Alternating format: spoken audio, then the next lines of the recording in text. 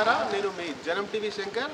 మనం యాదాద్రి భువనగిరి జిల్లా రాజపేట మండలం రంగనాథపురం గ్రామంలో ఉన్నాం.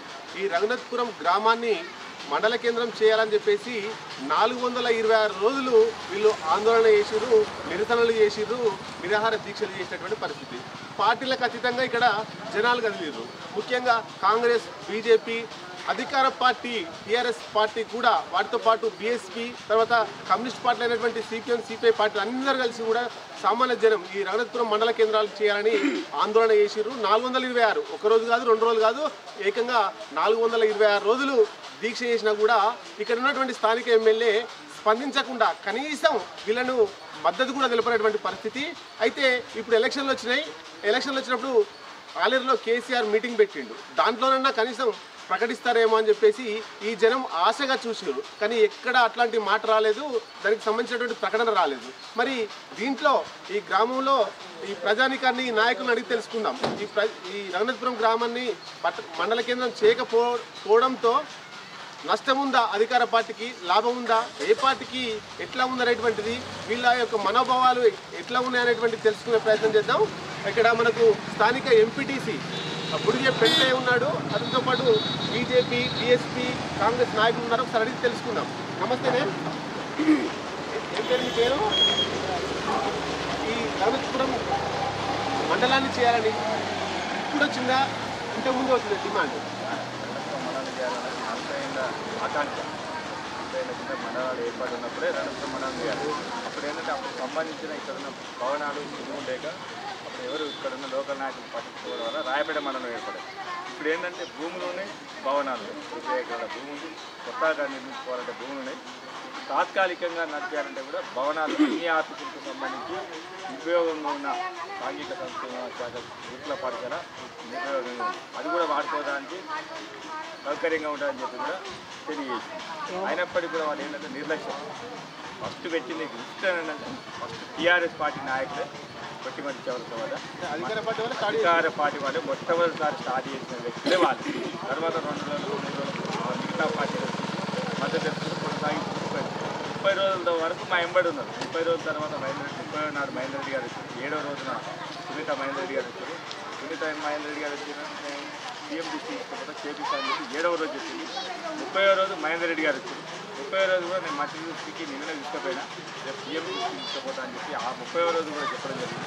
తదుపరి వంద రోజులు కార్యక్రమం ముప్పై రోజుల నుంచి వంద రోజుల కార్యక్రమం కూడా మేము యాదగిరిగుట్ట నుంచి కలెక్టరేట్ దాకా పాదయాత్ర చేస్తుంటే కూడా దాంట్లో కేసులు పెట్టేది కేసులు పెట్టి మమ్మల్ని కూడా కోర్టుకు రిమాండ్ ఎంతమంది మీద కేసులు? పదహారు మంది పైన. అన్ని పార్టీల వాళ్ళు అన్ని పార్టీల వాళ్ళు. ఆ కేసుల వరకు. ఆ కేసులు పెట్టి కోర్టు కూడా తగ్గి కోర్టు కూడా తిరుగుతూ ఉన్నాం మేము. ఆ సందర్భంలో. వంద రోజుల తర్వాత ఆ కార్యక్రమం వంద రోజుల తర్వాత కేసు పెట్టిరని చెప్పి బలంగా ఒత్తిడి చేస్తే తూతూ మాత్రంగా జగదీశ్వర్ రెడ్డి గారికి ఎమ్మెల్యే గారు నాకే వాసు అంటే నాలుగు ముచ్చట్లు మాట్లాడి చల్లబడేసి ఎంతో పంపించింది విషయాన్ని నాలుగు వందల ఇరవై ఆరు రోజులు విలే నిరాధిక చేసినప్పటికీ ఆమె ముఖ్యమంత్రి తీసుకుపోలేని పరిస్థితిలో ఎమ్మెల్యే గారు ఉన్నారు. అంటే మొన్న బహిరంగ సభలో కేసీఆర్ మాట్లాడుతూ సునీత నా బిడ్డ లాంటిది అడిగితే ఇయ్యనా? అన్నాడు. మరి ఆమె అడిగిందా అడగలేదు అనుకుంటున్నారా మీరు? ఆయన అడిగిన పదం కూడా ఆయన స్టేజ్ మీదకి ఎక్కి స్టేజ్ మీద కూర్చున్నప్పుడు అడిగితే ఆయన ఇన్నడని అనుకుంటాం ఆయన భక్తికి స్టేజ్ పైకి వస్తున్న సందర్భంలో మాట్లాడింది కాబట్టి ఇన్నడా ఇన్నడా ఇన్నడే అన్నది ఆయనకి వ్యక్తిగతంగా చూసుకోవాల్సింది ఇన్నడా అంటే ఇప్పుడు నా నాలుగు వందల ఇరవై ఆరు రోజుల లేని సమస్య ఇప్పుడు ముఖ్యమంత్రి గారికి చెప్పినట్టు మేము ఎట్లా నమ్ముతాం? అదే విషయంలో ఆటో కార్మికులు గుట్టలో ఎమ్మెల్యే గారికి ముందు పోయి కూర్చుంటే నేను ఈ విషయాన్ని ముఖ్యమంత్రి గారి దగ్గర తీసుకపోతే నన్ను తిడుతుండు నన్ను ఇబ్బంది పెడుతుండు నాకు ఆ ముచ్చట దేవద్దని చెప్పి స్పష్టంగా చెప్పిన వ్యక్తి గారు.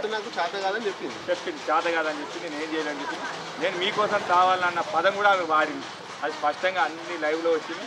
స్పష్టంగా అందరికి తెలిసిన విషయం ఇలా కొత్త నాటకం ఏంటంటే ఓట్ల కోసం నేను ముఖ్యమంత్రి గారి ముందు ఆ పదం మాట్లాడిన. అని అయినప్పటికీ కూడా ముఖ్యమంత్రి గారు వేరే సభలలో కూడా ఆ ఊరు పేరు పెట్టి ఇక్కడ ఈ ఆలేరు డివిజన్ కావాలంటే ఆలేరు డివిజన్ ఎమ్మెల్యే గారు కోర్టులు ఇస్తా అనే అనే మాట రాలేదు. జనగామలో జరిగింది. జనగామలో చేరియాల డివిజన్ కావాలని అంటున్నారు అక్కడ కేసీఆర్ ప్రకటించింది రెవెన్యూ డివిజన్ మనలు కావాలంటారు అక్కడ ఎమ్మెల్యేను పల్లరాజపేట గెలిపిస్తే నెల రోజుల్లో తీసుకొస్తాడు అట్లాంటి హామీ ఏమన్నా ఇక్కడ మీకు కనిపించిందా ఏం అవ్వలే అలాంటి పేరు పెట్టలే. ఆమె చెప్పిన పెద్దమ్మ కోరికలు కావు చిన్న చిన్న కోరికలు ఉన్నాయి. తీర్థాన తప్ప స్పష్టంగా మిగతా సభలలో ఎక్కడైతే ఆ ఊరు ఆ గ్రామాల పేరు పెట్టి సబ్ డివిజన్లు చేస్తాం డివిజన్లు చేస్తాం మండలాలు చేస్తాం అని చెప్పి స్పష్టంగా ఆ నోటితోని పలికిన మాట ఇక్కడ ఆలేరు ఆలేరు గురించి కానీ రాజపేట రంగనాథపురం గురించి కానీ ఆ మాదాపూర్ గురించి కానీ ఎలాంటి మాట రాలేదు కాబట్టి వాళ్ళు ఏమైనా ఓట్ల కోసం మేము జిమ్మిత్తుగా రెండు మాటలు ఇస్తుందని అనుకోవడం తప్ప వేరే ఉపయోగం లేదని చెప్పి అనుకుంటాం ఈ టీఆర్ఎస్ నాయకులు ఉద్యమంలో కలిసి స్టా- ఫస్ట్ స్టార్ట్ చేసిన వాళ్ళే. వాళ్ళు చివరి దాకా వాళ్ళు ఉన్నారా మధ్యలో? చివరి దాకా చివరి వరకు లేదు కొందరు వంద కొందరు ముప్పై రోజులకే డ్రాప్ అయిపోయారు. ముప్పై రోజులకు డ్రాప్ అయిపోయిన వాళ్ళు ఏంటంటే ఇది రాదు. కలెక్టర్ వచ్చి గ్రామ సభ పెట్టాలి ఒక ఏడీ వచ్చి గ్రామ సభ పెట్టాలి. పెద్ద కథ ఉంటుంది పెద్ద తతంగా ఉంటుంది? చెప్పి ఎమ్మెల్యే కంటే ఎక్కువ వీళ్ళే ముందుగా స్పీడ్గా మాట్లాడి ఎమ్మెల్యే గారిని డైవర్ట్ చేసే పరిస్థితి కూడా చుట్టుపక్కల ఉన్న గ్రామాలకు రణత్వం ఉన్న ప్రజానికానికి అందరికీ కూడా అర్థమైపోయింది అలాంటి పరిస్థితి తప్పుదో పట్టించే పరిస్థితి కూడా కొంతమంది నాయకులు చేసి తప్పులు కొంతమంది వంద రోజుల దాకా వంద ఇరవై రోజుల దాకా కొంతమంది ఉన్నారు. తర్వాత వాళ్ళు కూడా కొంచెం డ్రాప్ అయిపోయారు. మళ్ళీ ఎప్పుడు లాస్ట్ చివరి టైంలో కొంతమంది పెద్ద మనుషులు నోటిఫికేషన్ పడుతూ ఎత్తేసే కాలం పరిస్థితి వచ్చిందని చెప్పి కొంతమంది పెద్ద మనుషులు సీనియర్ నాయకులు ఆ కొంతమంది నలుగురు ఐదుగురు మళ్ళీ టీఆర్ఎస్ వచ్చి లాస్ట్ మూడు వందల అరవై ఐదు సంవత్సరాలు దాటిన తర్వాత ఒక నెల రోజులు మాత్రం మాకు పాల్పంచుకోవడం జరిగింది. అంటే మొన్న కేసీఆర్ జరిగినటువంటి మీటింగ్కు చాలా మంది జనం తగిలిపోయినట్టు మనకు చూసినాం. నిజంగా తగిలిపోయారా లేకపోతే అంటే ఇక్కడ మాకు మండల కేంద్రం కావాలని ఆకాంక్ష ఉంటే అంతమంది పోరు కదా? ఎందుకు పోయినట్టు? ఇక్కడి నుంచి అంతమంది తరలిపోవడానికి కారణం ఏంటంటే రైతు బంధు వస్తుంది దళిత బంధు వస్తుంది. దళిత బంధు ముఖ్యంగా ఏంటంటే దళిత బంధు వస్తుంది ఇల్లు వస్తాయి. ఇల్లు మీరు కేసీఆర్ మీదకి వస్తే మీకోసం ప్రత్యేకంగా ఆయన వాగ్దానాలు చెప్తాడు.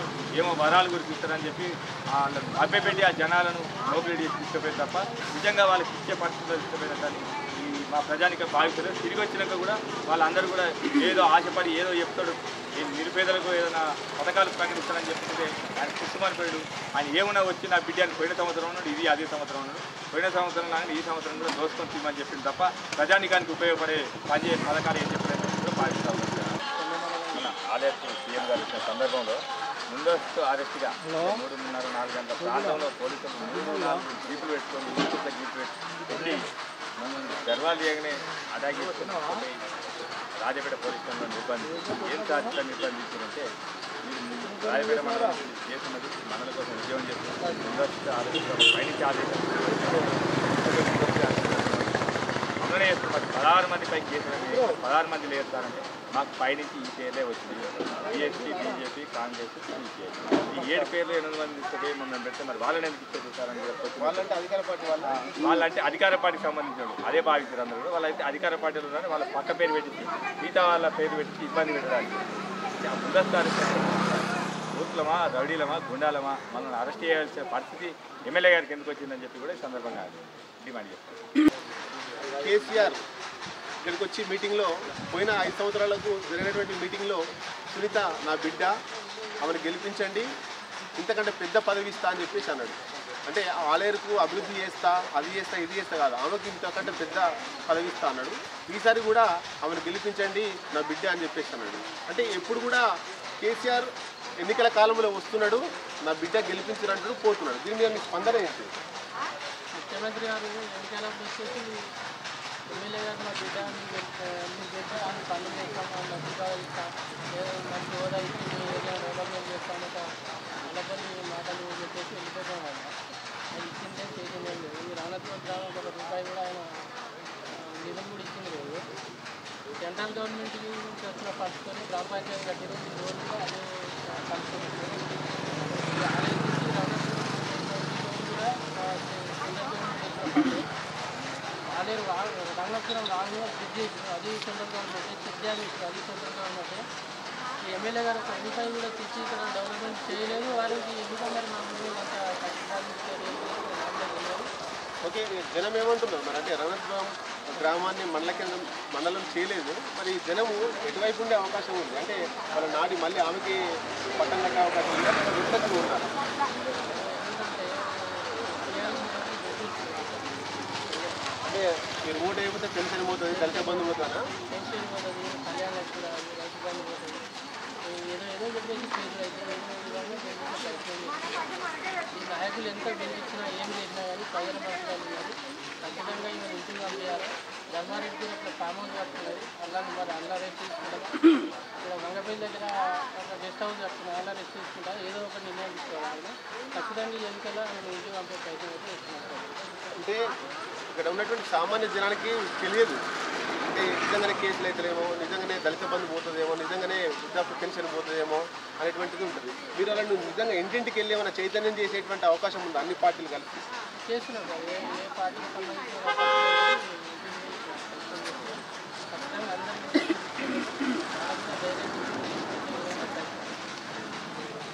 ఓకే మొత్తం మీద రణపురం మండల కేంద్రాన్ని చేస్తానని మాటిచ్చి తప్పి ఎలక్షన్లకు వచ్చేసరికి పబ్బం గడుపుకునేటువంటి పరిస్థితుల్లో ఈ రంగనాథపురం గ్రామం మొత్తం కూడా నెగిటివ్గా అంటే బీఆర్ఎస్ పార్టీ అభ్యర్థి గొంగిడి సునీత మహేందర్ రెడ్డికి నెగిటివ్గా మారేటువంటి పరిస్థితులు చాలా కనిపిస్తూ ఉన్నాయి. ఎందుకోసం అంటే ఇక్కడ మండల కేంద్రం కావాలని చెప్పేసి ఒక ముప్పై నలభై సంవత్సరాల ప్రజల ఆకాంక్ష. దానికోసం నాలుగు వందల ఇరవై ఆరు రోజులు వ్యయ ప్రయాసాలకు ఓర్చి సమయాన్ని వెచ్చించి అన్ని పార్టీల నాయకులు ఆందోళన చేసింది కానీ ఎట్లాంటి ప్రకటన దాని మీద రాలేదు. ఇప్పుడు ఎలక్షన్లు వస్తే గెలిపించండి మేము చేస్తామంటున్నారు. మరి ఈ చేసేదేందో బిఫోర్ ఎలక్షన్ ముందే అప్పుడు చేస్తే బాగుండేది అనేటువంటిది ఇక్కడ ఉన్నటువంటి ప్రజల ఆకాంక్ష. అంటే ఇక్కడ బీఎస్పీ నాయకులు కొమరయ్య ఉన్నారు అడిగి తెలుసుకున్నారు అంటే బీఎస్పీ ఆ ఉద్యమంలో ఎట్లా పాల్పంచుకుంది? బీఎస్పీ అంటే ప్రజలను ఎట్లా చైతన్యం చేస్తుంది తెలుసుకుందాం. నమస్తేనే నమస్తే. నా పేరు కలపల పుండయ్య బీఎస్పీ అంటే బహుజనవాదం. మొత్తం బహుజనవాదం అంటే మొత్తం ఎస్సీబీ బీసీబీ మైనార్టీ. కాబట్టి బహుజనవాదాన్ని బలపరుచుకుంటూ మా గ్రామ ప్రజలు ముప్పై ముప్పై సంవత్సరాల నుంచి పోరాటం చేస్తున్న మా మండలం కోసం ఇక్కడ నుంచి మేము నాలుగు వందల ఇరవై ఆరు రోజుల నుంచి మండలం చేస్తే ఇక్కడ పాలకులు ఇక్కడ ఎమ్మెల్యే స్థానికంగా ఉండే ఉరుడు శ్రీకామహేంద్ర రెడ్డి గారికి చీమ గుర్తినట్టు కూడా ఆమె పట్టించుకోలేదు. మరి అంటే బహుజనవాదం అంటే బీఎస్పీ బహుజనులలో ఎక్కువగా ఉంటుంది కాబట్టి ఈ బహుజనులలో ఈ ఎమ్మెల్యేకు వ్యతిరేకంగా మీరేమన్నా వాళ్ళని చైతన్యం చేస్తున్నారా? బరాబర్ చేతన చేస్తున్నాం. ఎస్సీలు బీసీలు మైనార్టీలు కలుపుకపోయి బరాబర్ ఈ ఈ దెబ్బతోటి ఆమెను ఇంటికి పంపిస్తాం. మొత్తం మీద పామోదరం అడగడతాం కోరుకున్న దానికి అయితే మండలం గురించి మేము ఇప్పుడు సర్పంచ్ ఉండే రాసుకున్న సామాన్య ఉండే. నేను సర్పంచ్ ఉంది మండలం చేద్దామంటే ఇచ్చింది మండలం చేద్దామని ఆ మూడు పనులు రాకముందే ఈ మండలం అయ్యే పొజిషన్. అప్పుడు ఏం చేసిందంటే మా ఊళ్ళో ఈ మదమ్మకాలు ఉంటాయి కాబట్టి అవుతాం తీసాలి పోతుంది ఇదలు అంటే మాకు చేతి వాళ్ళు మా మా వ్యాపారాన్ని ఆపుతారు ఆపుతారని ఈ మండలం కాకుండా ఉంటారు బాగా అడ్డం వేసి అది మాకు చాలా ఎఫెక్ట్ పడుతుంది అనుకో. అది ఆ దాని నుంచి మళ్ళీ మొన్న ఇక ఎమ్మెల్యే ఎలక్షన్ టైప్ మేము వేరే అసలే మనకి మండలం అవుతుంది అన్ని మండలాలు చేస్తుంది మన మండలం కూడా చేసినట్టు కొడుతున్నాం మనం మంచిగా చేసినట్టు అందరని ఎమ్మెల్యే గారికి పోయి మనం దీక్ష పెడతాం ఇది దాన్ని అందరం కలిసాం. ఒక మంది మూడు వందల మంది రోజు దీక్ష చేసినాం. రోడ్డు రోడ్డు చేసినాం. అన్నీ చేసినాం. చిన్నా కానీ ఒక మైండ్ వచ్చి ఎమ్మెల్యే గారు కాగితం చెప్పింది ఎవరు పూజ చెప్పినా కానీ ఆయనే పెట్టిపోయారు కానీ దాన్ని మొన్న ముఖ్యమంత్రి వచ్చింది కేసీఆర్ వచ్చినప్పుడు మేము మాట్లాడుకుంటూ మాట్లాడుతుంది ఆయన బస్సు పోతుండు. మేము మాట్లాడుతుంది ఆయన అసలు ఇది చూసినాక మరి ఎమ్మెల్యే గారు ముఖ్యమంత్రి గారు నా జనం నా ఆలేరు మండలంలో నా ఆలేరు డివిజన్లో నా నగర గ్రామం ఉంది ఆ గ్రామాన్ని మండలం చేయాలని చెప్పి చూసినప్పుడు చెప్తే నాకు దృష్టి పెట్టినా పెట్టకపోయినా ఆయన బస్సు వచ్చినప్పుడే నా మండలం కావాలి అని చెప్తుంది అంతే. ఏ పెట్టినాయి ఇక అంత అంత ఊపింది అంతనే మాట్లాడతాను వెళ్ళిపోయింది. మరి మా గురించి ఏం కోరుకుంటుంది మా ఊరి మీద అంత అంత పగేంది మాకు అన్ని ఆ, ఒలిగొండ మొన్న ఒలిగొండ బండ్లం చేసుకుంటున్నా అరుణ్ ఇక రేపే ఎన్నికలు నోటిఫికేషన్ పడతాను కానీ మరి మాక మా మేము అంతేం అన్యాయం చేసిన పెద్ద గ్రామం చుట్టుముట్టు పన్నెండు గ్రామాలు ఉన్నాయి పన్నెండు గ్రామాల సర్పంచ్లు కూడా అందరూ తీర్మానం చేసి పంపారు అది కూడా మా లోపల పెంచుకునే పెట్టి ఇంకా అన్యాయం సుంటగాడు కాదు నువ్వు పదిహేను పరిపాలన చేసినావు. ఒక ఇల్లు ఇయ్యలే. ఒక గొర్రెని ఇయ్యలే ఒక మేకని మా ఊరికైతే ఒక ఇల్లు ఇయ్యలే. మరి ఇంటికాడ బిడ్డ అనేది కదా. మరి కవిత ఆ బిడ్డ ఇద్దరు బిడ్డ లేకపోతే మరి ఒక బిడ్డ మరి మరి మన వాళ్ళతో అంటారు మరి ఆ ఆ బిడ్డకి ఆ పిల్లలు పిల్లలు పట్టుకుంటారు మరి. ఇక పాలగా వండుకుంటా ఏం వండుకుంటా చూద్దాం ఇంకా. అందుకే ఇంటికి పంపిస్తాం వెంటనే.